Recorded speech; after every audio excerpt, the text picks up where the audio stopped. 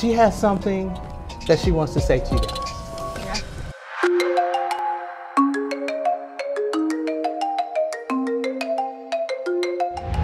Hey guys, hope everybody's doing great. I had a great time shooting with ABH Studios today.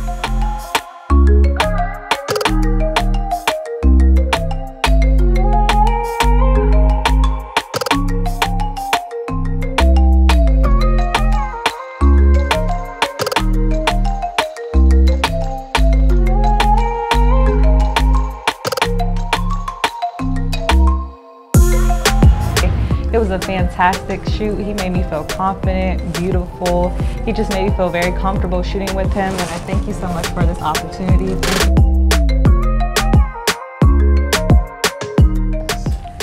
It's a wrap. That was fun. that was so hard.